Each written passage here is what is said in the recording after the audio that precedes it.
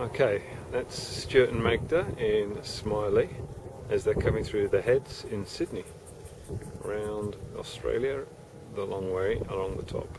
That's the zoom in picture. Sydney in the background, Smiley in the foreground, Manly Ferry just left there. It's the beautiful vista of Sydney. Most beautiful city in the world after Coventry. Well done Stuart and Magda. Well done Smiley. And here they are, coming into Manly. They're about to anchor just here by the ferry terminal. Nice and quiet for them.